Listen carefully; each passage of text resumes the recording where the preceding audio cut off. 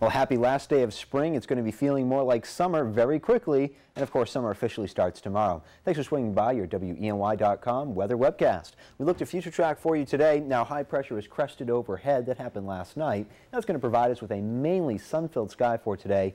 Like yesterday afternoon, we'll see a few fair weather clouds popping up as we head in towards your afternoon hours. These rain chances depicted by future track completely overdone. It's going to be a nice dry day. We head in towards tonight. It's going to be much more comfortable for sleeping Last night we dropped those temperatures back into the upper 30s and low 40s.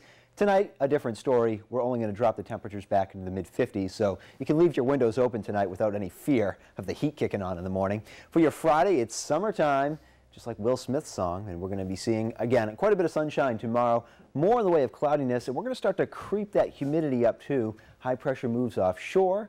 We're going to see that clockwise wind around the high, and that means a southerly wind. That means warmer temperatures and increased levels of humidity. We're really going to be cranking up the humidity over the weekend. I know we're just getting into summer, but we're going to be flicking that switch. We're going to go right from spring into full force summer very quickly. Get ready for the humidity over the weekend and some pop-up thunder showers starting Sunday and continuing off and on through early next week.